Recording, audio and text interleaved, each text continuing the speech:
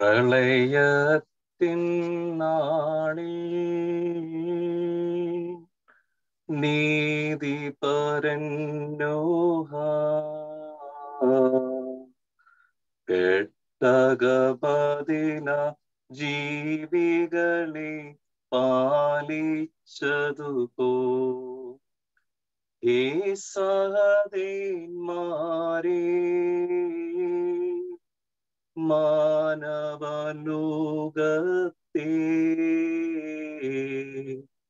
ചൂഴും തിരമാലകളിന്നും രക്ഷിക്കണമേ. ത്രിയേക ദൈവത്തിന്റെ വലിയ നാമം മഹത്വപ്പെടുമാറാകട്ടെ. ആമേ ഏറ്റവും സ്നേഹം നിറഞ്ഞ അഭിവന്യ തിരുമേനി വന്യ വൈദിക ശ്രേഷ്ഠരെ പ്രിയപ്പെട്ട മാതാക്കളെ സഹോദരിമാരെ ഏവർക്കും ക്രിസ്തുനാമത്തിൽ സ്നേഹ വന്ദനം ഒരു സംഭവം പറഞ്ഞ് പറഞ്ഞ് ആരംഭിക്കട്ടെ. ആയിരത്തി തൊള്ളായിരത്തി മുപ്പത്തി ഒൻപത് ഡിസംബർ ഇരുപത്തി അഞ്ചാം തീയതി ഗ്രേറ്റ് ബ്രിട്ടനിലെ രാജാവായിരുന്ന ജോർജ് ആറാമൻ വൈഷമ്യത്തിലും ഭാരത്തിലും കഴിഞ്ഞ തന്റെ രാജ്യത്തോട് ഒരു റേഡിയോ പ്രഭാഷണത്തിലൂടെ അതിമനോഹരവും ഹൃദയസ്പർശവുമായ ഒരു സന്ദേശം നൽകി. രണ്ടാം ലോക മഹായുദ്ധത്തിന്റെ നടുവിൽ ഗ്രേറ്റ് ബ്രിട്ടനും ജർമ്മനിയും യുദ്ധക്കളത്തിൽ പോരാടുന്ന സന്ദർഭത്തിലാണ് താൻ ഈ പ്രഭാഷണം തുടങ്ങിയത്. പുതിയൊരു വർഷത്തിലേക്ക് പ്രവേശിക്കുവാൻ പോവുകയാണ്. അത് എന്തു നൽകുമെന്ന് അറിഞ്ഞുകൂടാ? സമാധാനമാണെങ്കിൽ ഏറെ നന്ദിയോടെ സ്മരിക്കും അതല്ല മറിച്ച് തുടരെയുള്ള പ്രശ്നങ്ങളും കലഹങ്ങളും ആണെങ്കിൽ നാം ഭയപ്പെടാതെ നിലകൊള്ളും a new year is at hand we can not tell what it will bring if it brings peace how thankful we shall be if it brings us continued struggles we shall remain undaunted രാജാവിന്റെ പ്രഭാഷണം അവസാനിപ്പിക്കുന്നതിന് മുൻപായി അദ്ദേഹത്തിന്റെ മകളുടെ ആവശ്യമനുസരിച്ച് പ്രശസ്തയായ British കവി Minnie Louise ഹാസ്കിന്റെ ഏറ്റവും പ്രസിദ്ധമായ the gate of the year എന്ന കവിതയുടെ ഏതാനും വരികൾ വർണിച്ചു തുടങ്ങി. അജ്ഞാതമായ സ്ഥലത്തേക്ക് സുരക്ഷിതമായി കാലടി വെക്കുവാൻ എനിക്ക് വെളിച്ചം നൽകുക എന്ന് ഞാൻ വർഷത്തിന്റെ പടിവാതിൽ നിന്ന മനുഷ്യനോട് പറഞ്ഞു. അദ്ദേഹം മറുപടിയായി കൂരിരുട്ടിലേക്ക് നീ പുറപ്പെടുക നിന്റെ കരങ്ങൾ ദൈവത്തിന്റെ കരങ്ങളിലേക്ക് വെക്കുക അത് വെളിച്ചത്തേക്കാൾ നല്ലതും വ്യക്തതയുള്ള വഴികളേക്കാൾ സുരക്ഷിതവുമായിരിക്കും I said to the man who stood by the gate of the ear, Give me a light that I may tread safely into the unknown. And he replied, Go out into the darkness and put your hand into the hand of God. That shall be better to you than light and safer than a known way. The king concluded his speech by saying, May the Almighty hand guide and uphold us all.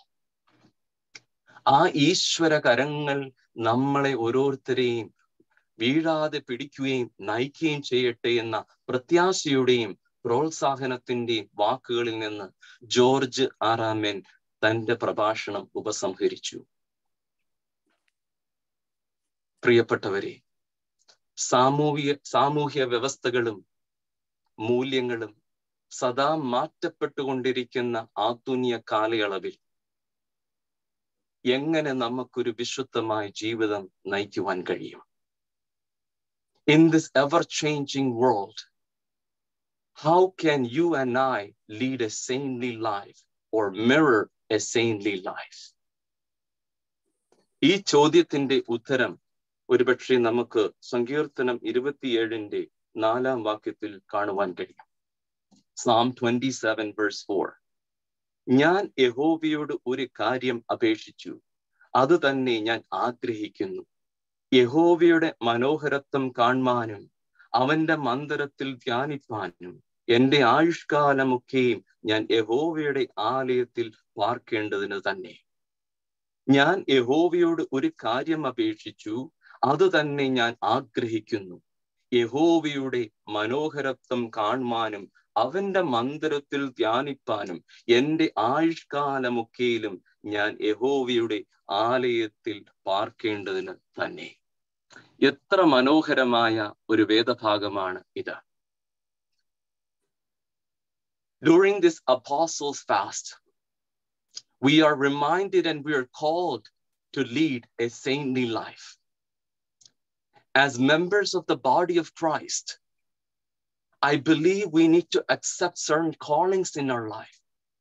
ചില വിളികൾ ക്രിസ്തികമായ വിളികൾ നമ്മുടെ ജീവിതത്തിൽ നാം സ്വീകരിച്ചാലേ ദൈവികമായ നടപടികളിൽ ജീവിക്കുവാനും ഒരു പരിശുദ്ധന്റെ പാതയിൽ കൂടെ പരിശുദ്ധതയുടെ പാതയിൽ കൂടെ സഞ്ചരിക്കുവാൻ കഴിയുകയുള്ളൂ.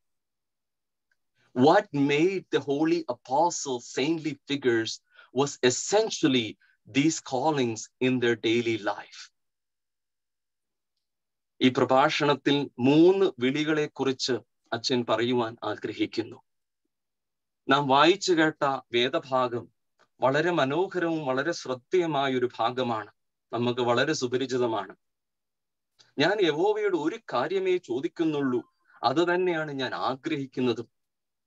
യഹോവയുടെ മനോഹരത്വം കാണുവാനും അവന്റെ മന്ദിരത്തിൽ ധ്യാനിപ്പാനും എന്റെ ആയുഷ്കാലമൊക്കെയിലും ഞാൻ യഹോവയുടെ ആലയത്തിൽ പാർക്കേണ്ടതിന്. അപ്പോൾ ഓർത്തുകൊള്ളുക താൻ വിളിച്ചു വേർതിരിച്ച സ്ഥല ചില മീൻപിടുത്തക്കാരെയും ചില ചുങ്കക്കാരെയും വളരെ സാധാരണപ്പെട്ട മനുഷ്യരിൽ സാധാരണപ്പെട്ടവരായ അപ്രാപ്തരായ വിദ്യാഭ്യാസമില്ലാത്ത ചില വ്യക്തികളെയാണല്ലോ തന്റെ ശുശ്രൂഷയ്ക്ക് വേണ്ടി തന്റെ സുവിശേഷത്തെ വഹിക്കുവാനായിട്ട് തെരഞ്ഞെടുത്തിരിക്കുന്നത്. അങ്ങനെയെങ്കിൽ അവരുടെ ജീവിതത്തിൽ എങ്ങനെയാണ് വിശുദ്ധമായ ഒരു വെളിച്ചത്തിലേക്കും വിശുദ്ധമായ നടപടിയിലേക്കും ജീവിക്കുവാൻ അവർക്ക് കഴിഞ്ഞതെന്ന് നമ്മൾ ഒന്ന് ചിന്തിക്കേണ്ടിയിരിക്കുന്നു. നാം എല്ലാ ആണ്ടും സ്ലീഹാ നോയമ്പ് ആചരിക്കും ഒരുപക്ഷെ പക്ഷെ. അതിൽ കൂടെ നമുക്ക് ലഭ്യമാകുന്നത് എന്താണ്? പലപ്പോഴും നമ്മൾ ചടങ്ങിന് വേണ്ടി നമ്മൾ നടത്തി പോകുന്നവരാണ്. അതിലുപരിയായി ദൈവസന്നദ്ധിയിൽ ശരണപ്പെടുമ്പോൾ പരിശുദ്ധ പരിമല തിരുമേനി വിശുദ്ധ കന്യകമറിയാമും അപ്പോസ്തോലന്മാരും സഹോദയന്മാരും ഒക്കെയും തന്റെ ജീവിതത്തിൽ നിലനിർത്തിയത് പല വിളികളിൽ കൂടിയാണ്. അതിന്റെ ഒന്നാമത്തെ ഒരു വിളി എന്നുള്ളത് വളരെ ശ്രദ്ധേയമാണ്. അത് ഇപ്രകാരമാണ്. അകൽച്ച പാലിക്കുവാനുള്ള ഒരു വിളിയാണ്. The call to separate American evangelist ആയ ഒരു വലിയ സുവിശേഷകനായ ഡി എൽ മൂടി എന്ന് പറയുന്ന വ്യക്തി ഇപ്രകാരം പറഞ്ഞിട്ടുണ്ട്.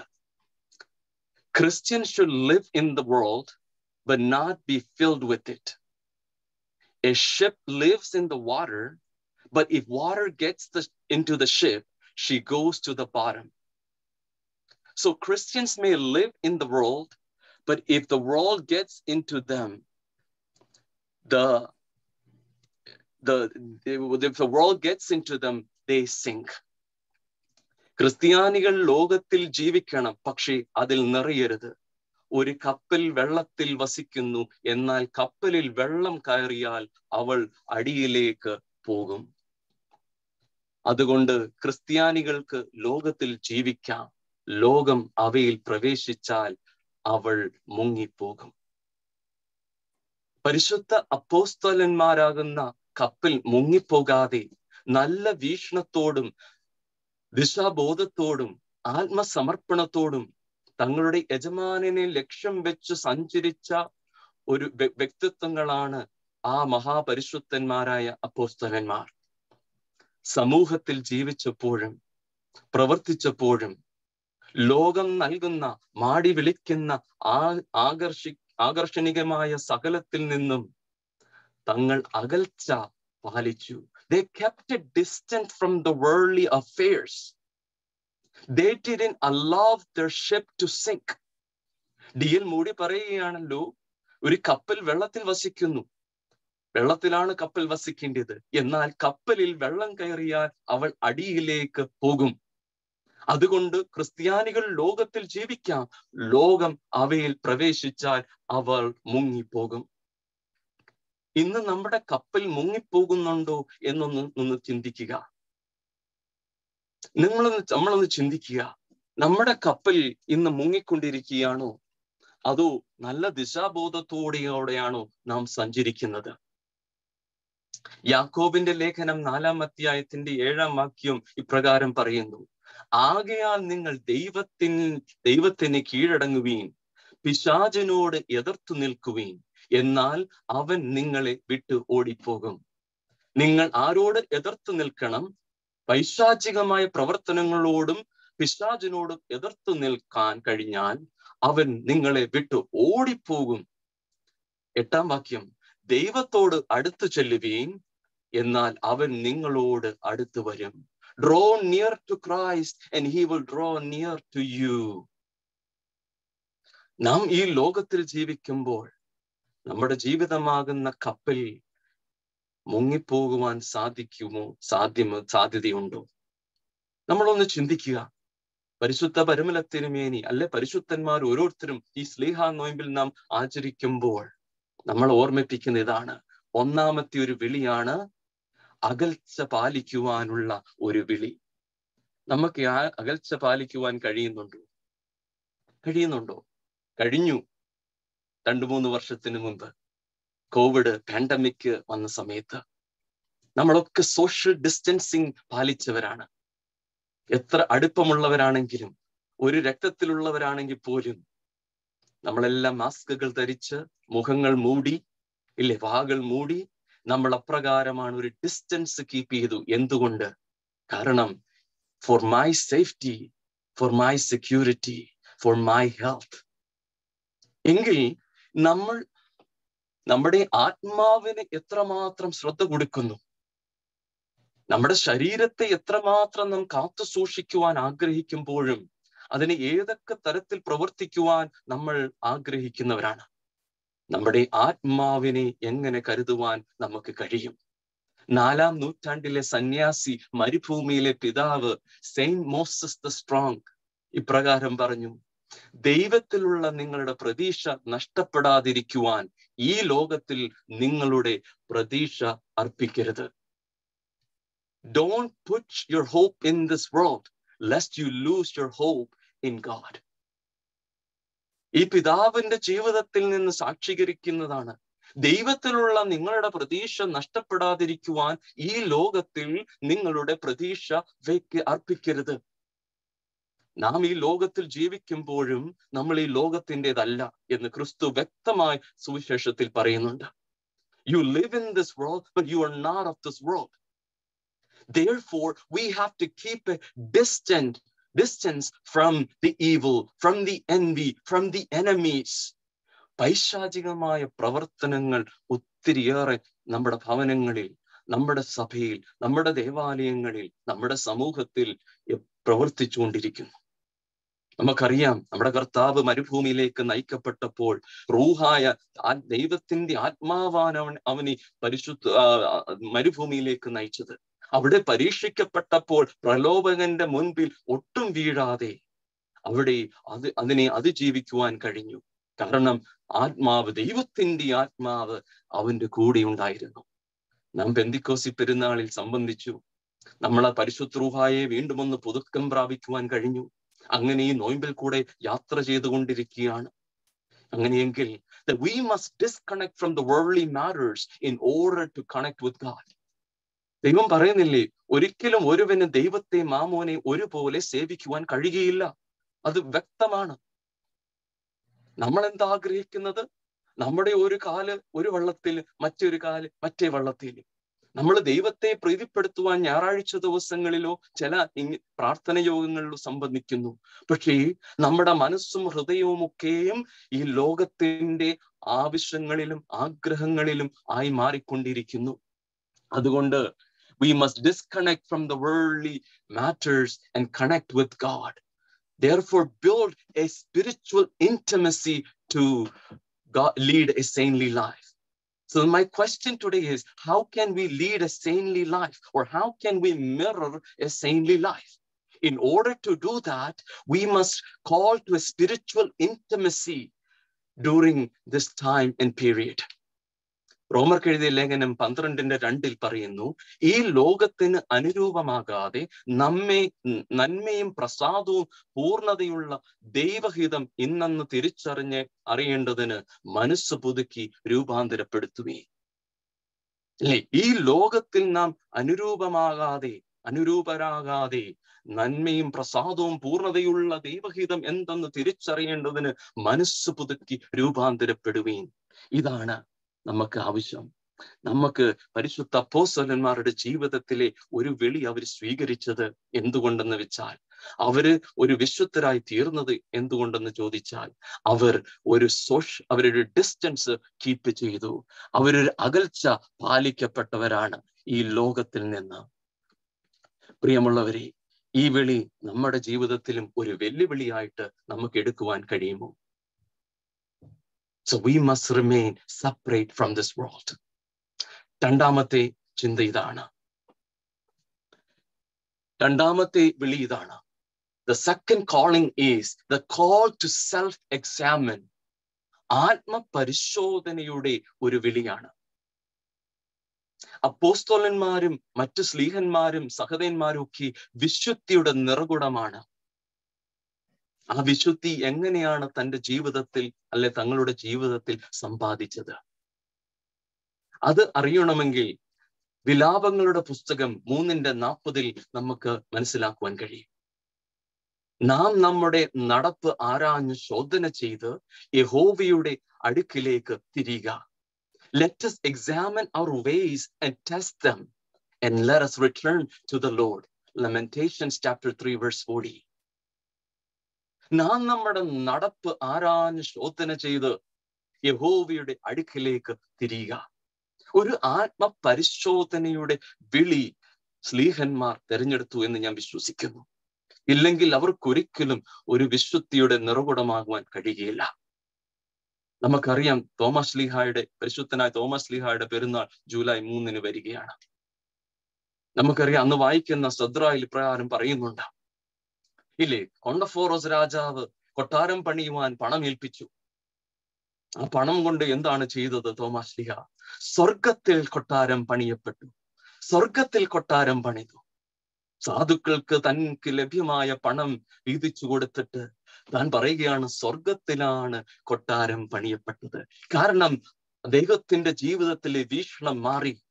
അദ്ദേഹം മുൻപല്ല ഉണ്ടായിരുന്ന ജീവിതത്തിൽ നിന്ന് പുതിയൊരു രൂപാന്തരത്തിലേക്ക് കർത്താവിന്റെ ശിഷ്യ സമൂഹത്തിലേക്ക് വേർതിരിക്കപ്പെട്ടപ്പോൾ താൻ തന്റെ ക്രിസ്തുവിനെ സ്പർശിച്ച് അറിഞ്ഞപ്പോൾ എന്റെ കർത്താവും എന്റെ ദൈവവുമേ എന്ന് വിളിച്ചു പറയുവാൻ കഴിഞ്ഞപ്പോൾ ആത്മ നിറവിൽ നിന്നാണ് സുവിശേഷം ആരംഭിക്കുമ്പോൾ അവിടെയാണ് ദർശനം മാറുന്നത്. ഈ ലോകത്തിന്റെ പണത്തിലോ സമ്പത്തുകളിലോ ആഗ്രഹങ്ങളിലോ ഒന്നും വീഴാതെ സ്വർഗത്തിൽ കൊട്ടാരം പണിയപ്പെട്ടു. ആയതുകൊണ്ട് നാമും നമ്മുടെ നടപ്പ് ആരാഞ്ഞ് ശോധന ചെയ്ത് യഹോവയുടെ അടുക്കിലേക്ക് തിരിക. Return to the Lord from our sinful natures from the ways that we have brought him in tears സങ്കീർത്തനം നൂറ്റി മുപ്പത്തി ഒൻപതിന്റെ ഇരുപത്തിമൂന്ന് ഇരുപത്തിനാല് വാക്യങ്ങൾ നമുക്കേറെ അറിയാവുന്ന വാക്യമാണ്. ദൈവമേ എന്നെ ശോധന ചെയ്ത് എന്റെ ഹൃദയത്തെ അറിയണമേ. എന്നെ പരീക്ഷിച്ച് എന്റെ നിലവുകളെ അറിയണമേ. വ്യസനത്തിനുള്ള മാർഗം എന്നിൽ ഉണ്ടോ എന്ന് നോക്കി ശാശ്വത മാർഗത്തിൽ എന്നെ നടത്തണമേ. നമ്മൾ ഒരു എപ്പോഴും ഓരോ നിമിഷവും നമ്മുടെ ക്രൈസ്തവ ജീവിതത്തിൽ ആത്മപരിശോധനയുടെ ഒരു നിമിഷങ്ങളായി മാറണം. ഒന്നാമത്തെ വിളി അച്ഛൻ പറഞ്ഞത് എന്താണ്? ഒരു പരിശുദ്ധനായി മാറണമെങ്കിൽ അത് വളരെ പ്രയാസമാണ്. വളരെയേറെ പ്രയാസമാണ്. എങ്കിലും ആ പരിശുദ്ധതയിലേക്ക് നയിക്കപ്പെടണമെങ്കിൽ ഒന്നാമത്തെ വിളി നമ്മുടെ ജീവിതത്തിൽ ഒരു വെല്ലുവിളിയായിട്ട് എടുക്കേണ്ടത് എന്താണ്? ദ കോൾ ടു സെപ്പറേഷൻ അകൽച്ചയുടെ ഒരു വിളി സ്വീകരിക്കണം. ഈ ലോകത്തിൽ നിന്നൊരു അകൽച്ച പാലിക്കുമ്പോൾ ഈ ലോകത്തിൽ ജീവിക്കുന്നവരാണ്. പക്ഷേ നമ്മുടെ ഉദ്ദേശം ഈ ലോകമല്ല നമ്മുടെ ദർശനം ഈ ലോകമല്ല. ആയതിനാൽ ഈ ലോകത്തിന്റെ മോഹങ്ങളിൽ നിന്നും ആഗ്രഹങ്ങളിൽ നിന്നും നമ്മളെ ദൈവത്തിൽ നിന്ന് അകറ്റുന്ന സകലത്തിൽ നിന്നും പിന്മാറേണ്ടിയിരിക്കുന്നു. രണ്ടാമത്തെ വിളി ഒരു പരിശുദ്ധ ജീവിതം നയിക്കപ്പെടണമെങ്കിൽ നാം എന്തു ചെയ്യണം എന്നുള്ളതാണ്. ആത്മപരിശോധനയുടെ ഒരു വിളി സ്വീകരിച്ചിരിക്കണം. പരിശുദ്ധനായ പരുമല തിരുമേനി തന്നെ ഇപ്രകാരം പറഞ്ഞിട്ടുണ്ട്. നമ്മളൊക്കെ മധ്യസ്ഥതയിൽ യാചിക്കുന്ന അപേക്ഷിക്കുന്ന പരിശുദ്ധ വിശുദ്ധനായ പരിശുദ്ധ പരമന തിരുമേനി തന്നെ ഇപ്രകാരം പറയുന്നു. ദൈവം അകന്നു പോകുമ്പോൾ നഷ്ടങ്ങളും പ്രയാസങ്ങളും വരുന്നു. അനന്തരം ആ സന്ദർഭങ്ങളിൽ ഒരിക്കലും ഒരു കാരണമോ മറ്റോ നോക്കരുത്. നിങ്ങളുടെ പാപങ്ങൾ നിമിത്തം ദൈവം അകന്നു പോയി എന്നറിയുക. അപ്പോൾ ദൈവത്തോട് പിൻ അപ്പോൾ ദൈവത്തോട് പറ്റി നിൽക്കുക. അവൻ നിങ്ങളോട് കരുണ കാണിക്കും. ദൈവ പരിശുദ്ധ വരുമല തിരുമേനി പറഞ്ഞ വാക്യങ്ങളായി പുസ്തകത്തിൽ നമുക്ക് കിട്ടുന്നതാണ്. ദൈവം അകന്നു പോകുമ്പോൾ നഷ്ടങ്ങളും പ്രയാസങ്ങളും വരുന്നു. അനന്തരം ആ സന്ദർഭങ്ങളിൽ ഒരിക്കലും ഒരു കാരണമോ മറ്റു കാരണമോ പറയരുത്. നിങ്ങളുടെ പാപങ്ങൾ നിമിത്തം ദൈവം അകന്നു പോയെന്ന് അറിയുക. അപ്പോൾ ദൈവത്തോട് പറ്റി നിൽക്കുക. അവൻ നിങ്ങളോട് കരുണ കാണിക്കും പ്രിയമുള്ളവരെ ഈ കരുണ കാണിക്കുവാൻ ദൈവം നമുക്ക് ഇടയാകണം ഇതാണ് നമ്മുടെ ജീവിതത്തിൽ വേണ്ടിയത് See, when we are faced with temptations, when we are faced with trials and struggles and obstacles of this life, and they come from all directions, just like Joseph fled from the temptation of Pontiphar wife, we must flee from all sorts of temptations to be able to live a holy life. ഞാൻ വായിച്ച വാക്യം ഇത് പ്രകാരമാണല്ലോ. സങ്കീർത്തനം ഇരുപത്തിയേഴിന്റെ നാല്. ഒരു കാര്യം മാത്രം ഞാൻ അപേക്ഷിച്ചു അത് മാത്രം ഞാൻ ആഗ്രഹിക്കുന്നു. യഹോവയുടെ മനോഹരത്വം കാണുവാനും അവന്റെ മന്ദിരത്തിൽ ധ്യാനിപ്പാനും എന്റെ ആയുഷ്കാലമൊക്കെയിലും ഞാൻ യഹോവയുടെ ആലയത്തിൽ പാർക്കേണ്ടതിന് തന്നെ. അവന്റെ മനോഹരത്വം കാണുവാൻ അവന്റെ തേജസ് കാണുവാൻ ദേവാലയത്തിലേക്ക് നാം ആകർഷിക്കപ്പെടുമ്പോൾ ആനയിക്കപ്പെടുമ്പോൾ ഇന്ന് നമുക്ക് ധൃതിയാണ്. എല്ലാം പെട്ടെന്ന് കഴിയണം. അല്പം നേരം പോലും നമുക്കൊന്ന് സമാധാനമായി ദേവാലയത്തിൽ ആരാധനയിലോ അത് മുമ്പോ അതിനുശേഷമോ അല്പം നേരം വസിക്കുവാൻ കഴിയുന്നില്ല. നമുക്കൊന്ന് ആത്മശോധന ചെയ്യുവാൻ കഴിയുന്നില്ല. അവന്റെ മനോഹരത്വം എത്ര ബ്യൂട്ടിഫുൾ ആണ്. We gaze at the beauty of the Lord to dwell in the temple So this is what we need to do We need to flee these temptations. To live a holy life, we have to flee from temptation. Don't entertain it. Don't consider it. Don't think twice about it. We must flee. We must run. We must run and move away from it. അകൽച്ച പാലിക്കണം രണ്ട് ആത്മശോധന ചെയ്യണം ഈ രണ്ട് വിളികൾ മൂന്നാമത്തെ ഒരു വിളിയും കൂടെ പറഞ്ഞുകൊണ്ട് അച്ഛന്റെ വാക്കുകൾ ഉപസംഹരിക്കാം. ഈ വിളി പറയുന്നതിന് മുമ്പായിട്ട് ഒരു കഥ പറയട്ടെ. രണ്ടാം മഹാലോക യുദ്ധത്തിൽ ഒരു നഗരത്തിൽ ബോംബ് അക്രമം നടന്നപ്പോൾ യേശുക്രിസ്തുവിന്റെ ഒരു വലിയ പ്രതിമ സാരമായി കേടുപാടുകൾ സംഭവിച്ചതായി പറയുന്നു. നഗരവാസികൾ അവിശിഷ്ടങ്ങളിടയിൽ പ്രതിമ കണ്ടെത്തിയപ്പോൾ അവർ വിലപിച്ചു. കാരണം അത് അവരുടെ വിശ്വാസത്തിന്റെയും അവരുടെ ജീവിതത്തിലെ ദൈവത്തിന്റെ സാന്നിധ്യത്തിന്റെയും പ്രിയപ്പെട്ട പ്രതീകമായിരുന്നു. പ്രതിമയുടെ ഭൂരഭാ ഭൂരിഭാഗവും നന്നാക്കുവാൻ വിദഗ്ധർക്ക് കഴിഞ്ഞു. പക്ഷേ അതിന്റെ കൈകൾ പുനഃസ്ഥാപിക്കുവാൻ കഴിയാത്ത വിധം ഗുരുതരമായി കേടുപാടുകൾ സംഭവിച്ചു. പുതിയ കൈകൾ നിർമ്മിക്കുവാൻ ഒരു ശില്പിയെ നിയമിക്കണമെന്ന് ചിലർ നിർദ്ദേശിച്ചു. എന്നാൽ മറ്റുള്ളവർ അത് അതേപടി ഉപയോഗിക്കാം എന്ന് ആഗ്രഹിച്ചു. കാരണം യുദ്ധത്തിന്റെയും ദുരിതത്തിന്റെയും സ്ഥിരമായ ഓർമ്മപ്പെടുത്തൽ അത്യന്തികമായി പ്രതിമ കൈകളില്ലാതെ തുടർന്നു. എന്നിരുന്നാലും നഗരവാസികൾ യേശുക്രിസ്തുവിന്റെ പ്രതിമയുടെ ചുവട്ടിൽ ഈ വാക്കുകളുള്ള ഒരു അടയാളം ചേർത്തു. നിങ്ങൾ എന്റെ കൈകളാണ്. ഈ കഥയിൽ ആഴത്തിലുള്ള ഒരു പാഠമുണ്ട്. ഞാൻ രക്ഷകനെ കുറിച്ച് ചിന്തിക്കുമ്പോൾ ആശ്വസിക്കും ആശ്വസിപ്പിക്കുവാനും സുഖപ്പെടുത്തുവാനും അനുഗ്രഹിക്കുവാനും സ്നേഹിക്കുവാനും കൈകൾ നീട്ടിയിരിക്കുന്ന അവനെ ഞാൻ എപ്പോഴും ചിത്രീകരിക്കുന്നു. അവൻ എളിമയുള്ളവരെയും സൗമ്യതയുള്ളവരെയും സ്നേഹിക്കുകയും അവരുടെ ഇടയിൽ നടക്കുകയും അവരെ ശുശ്രൂഷിക്കുകയും പ്രത്യാശയും രക്ഷയും നൽകുകയും ചെയ്തു. നാം അവന്റെ ഉത്തമ മാതൃക അനുഗ്രഹി അനുകരിക്കുമ്പോൾ നമ്മുടെ കൈകൾ അവന്റെ കൈകളായി തീരും. നമ്മുടെ കണ്ണുകൾ അവന്റെ കണ്ണുകളായി തീരും. നമ്മുടെ ഹൃദയം അവന്റെ ഹൃദയമായി മാറും. ഈ കഥ നമ്മളെ ഓർമ്മിപ്പിക്കുന്ന എന്താണ് വലിയൊരു പ്രതിമയാണ് സ്റ്റാച്യു ഓഫ് ലിബർട്ടി പോലെയുള്ള വലിയ ഉയരത്തിൽ നിൽക്കുന്ന പ്രതിമ ബോംബ് ആ സ്ഫോടനത്തിൽ നഷ്ടപ്പെട്ടപ്പോൾ അതിന് പരിക്കേറ്റപ്പോൾ കൈകൾ കണ്ട് നഷ്ടപ്പെട്ടു. ഈ കരങ്ങൾ പിടിച്ചുകൊണ്ട് നിൽക്കുന്ന യേശുവിന്റെ പ്രതിമ എന്താണ് സൂചിപ്പിക്കുന്നത്? അധ്വാനിക്കുന്നവരും ഭാരം ചുമക്കുന്നവരുമായുള്ളവരെ നിങ്ങൾ എന്റെ അടുക്കിലേക്ക് വരുവീൻ. ഞാൻ നിങ്ങളെ ആശ്വസിപ്പിക്കും. ആ ബോംബ് സ്ഫോടനത്തിൽ കൈകളില്ലാതെ നിൽക്കുമ്പോൾ അതിന്റെ അർത്ഥം മാറുന്നു. അപ്പോൾ ഈ നഗരവാസികൾ പറയുകയാണ് സാരമില്ല നമുക്ക് അതുപോലെ ആ പ്രതിമ അവിടെ സ്ഥാപിക്കാം.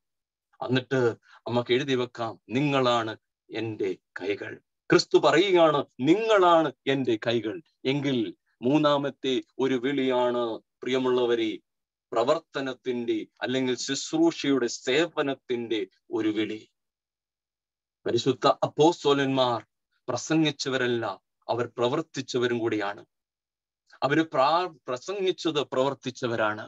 അവർ കർത്താവിന്റെ കരങ്ങളായി മാറി കർത്താവിന്റെ കാലുകളായി മാറി കർത്താവിന്റെ കണ്ണുകളും കാതുകളും നാവുകളുമായി രൂപാന്തരപ്പെട്ടപ്പോൾ അവർ പരിശുദ്ധ റൂഹായിൽ വിളിച്ചു പറഞ്ഞു അവർ പരിശുദ്ധ റൂഹായുടെ നാമത്തിലാണ് രോഗികളെ അല്ലെങ്കിൽ സൗഖ്യമാക്കിയതും പിശാചിനെ പുറത്താക്കിയതും the holy apostle set the call to serve is the third calling that we must do.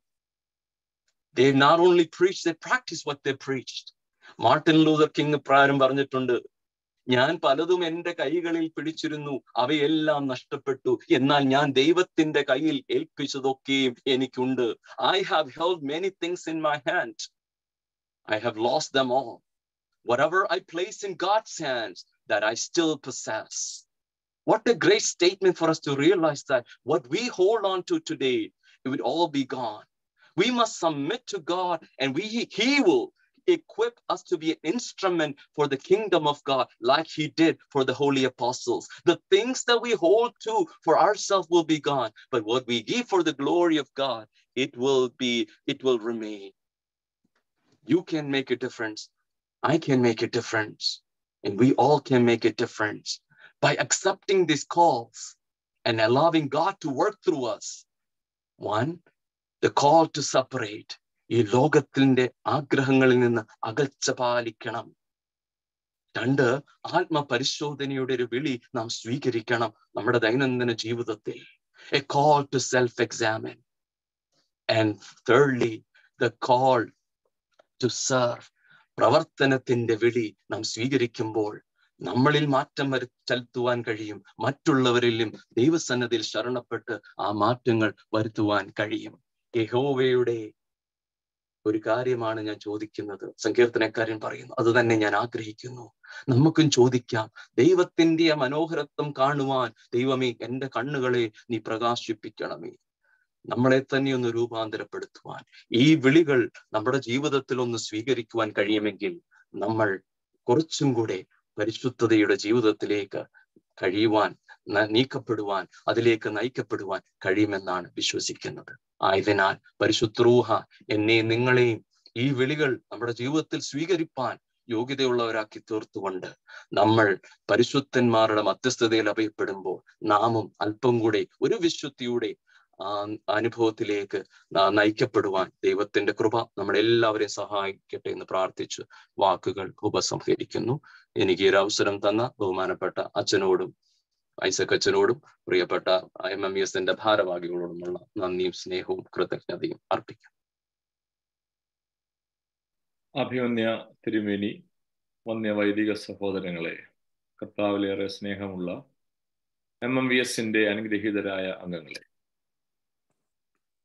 വ്യത്യസ്തമായ ഒരു അവതരണ ശൈലിയോടും വ്യക്തമായ ചിന്തകളുടെ അകമ്പടിയോടും കൂടി ഒരു സന്ദേശം കേൾക്കുവാനായിട്ട് വലിയവനായ ദൈവം പ്രിയപ്പെട്ട ജോഷ്വാച്ചനിലൂടെ നമുക്കിടയാക്കി.